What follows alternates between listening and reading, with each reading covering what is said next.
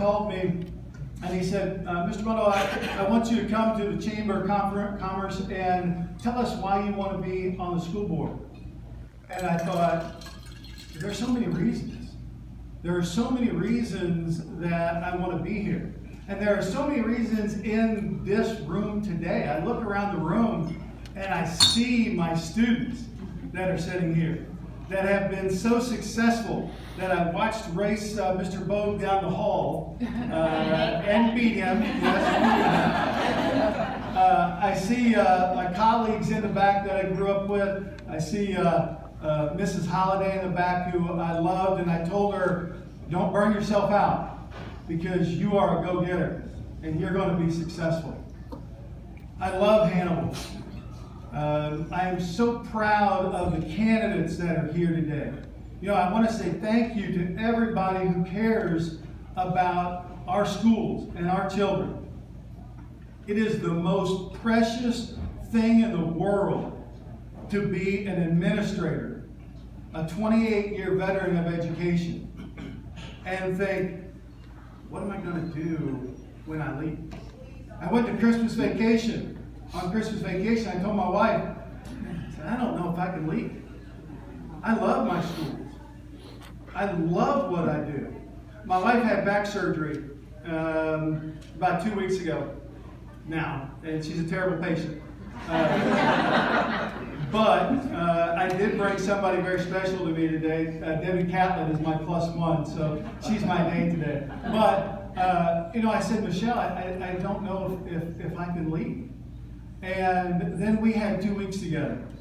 And we were able to take drives and we were able to reconnect. Because right now I work in Lincoln County. I have 28 years of experience, 24 years here in Hannibal, dealing with budgets, dealing with parents, dealing with policy, all of those things, and setting policy for our future.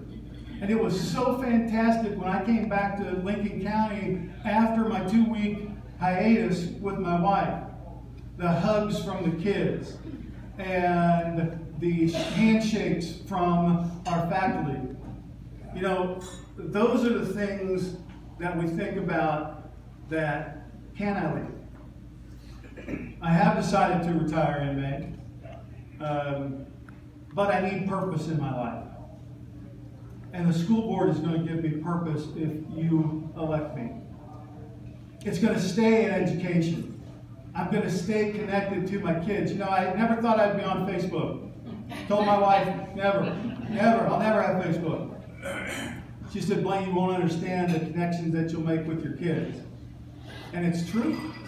It's the kids like Colin Welch who befriended me on Facebook. And I get to see what's going on in their life. I get to see their kids. It's fabulous. It's fabulous. Uh, now, I don't post uh, anything about debates. I won't debate on Facebook. I won't do any of that stuff. But I love keeping up with people.